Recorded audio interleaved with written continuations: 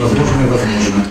Учитель в скайпе, классный дневник и журнал в компьютере. Скоро это будет реальностью. Учителя уже сейчас выкладывают учебные материалы, домашние задания в сеть. Основной образовательной платформой в крае выбрали систему сетевой региона образования. Школы намерены проводить занятия в форме вебинаров для гуманитарных предметов в виде графических задач для точных наук. Домашнее задание никто не отменял.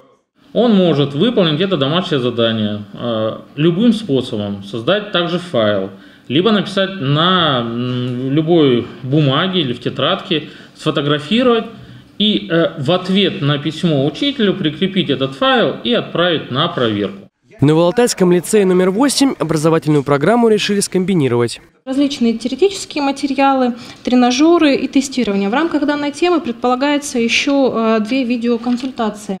В электронном виде представлена тема урока, учебник, домашние задания, промежуточные и итоговые тесты. Но такой формат подходит для городских либо крупных районных школ, где есть доступ в интернет. Для сельских все гораздо сложнее. На селекторном совещании с директорами школ звучали предложения о раздаче задания по телефону, либо подвозе детей в ближайшие школы, где выход в интернет возможен. На сегодня к сети подключены 226 школ, а свыше 600 работают офлайн и ждут очереди в мир глобализации.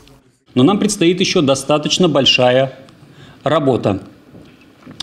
А именно, в 2020 году нам необходимо подключить будет 274 образовательных организаций и в 2021 году 332. Учиться в новых условиях, пока не совсем понятных для многих, предстоит до 12 апреля. И то, если каникулы из-за коронавируса не продлят. Оценить качество такого обучения пока никто не решается, ведь подобное впервые. Известно, что родителям школьников предлагают подписать заявление о переводе на дистанционное обучение. Многих возмутил в нем пункт о том, что освоение образовательной программы родитель берет на себя. Взрослые полагают, чиновники и школа ответственность за качество образования перекладывают на плечи родителей.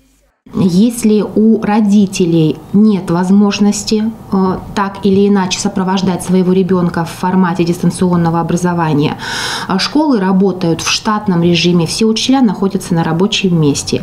И поэтому, э, если э, у ребенка нет условий, э, школа создаст эти условия на своей базе.